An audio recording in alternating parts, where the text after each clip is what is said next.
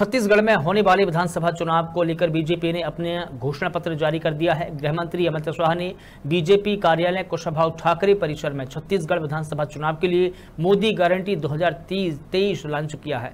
वहीं बीजेपी के पूर्व विधायक डॉक्टर सुभाव कश्यप ने प्रेस वार्ता में बताया कि बीजेपी ने अपना संकल्प पत्र जारी कर दिया है और बीजेपी जो कहती है, वो करती है। उन्होंने कहा कि हमने इस संकल्प पत्र में जो भी घोषणा की है, वो पूरी ईमानदारी के साथ समय सीमा में लागू करेंगे। कर्ज माफ़ी से ज़्यादा फ़ायदा हो रहा है।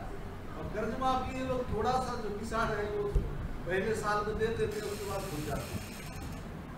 तो इसलिए किसानों के साथ धोखे काम हमने कभी किया नहीं, ना हमारी मंशा है।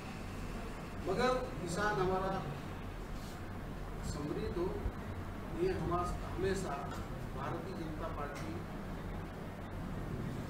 बैठिए साहब बंद कर ये हमारा प्रयास है जो का सौ रुपया और एक मुश्त उसका भुगतान बारदाने की इसी तरह से हर सेक्टर में आप ये युवा को देखेंगे युवाओं के लिए बेरोजगारी का जो मामला है, उसका भी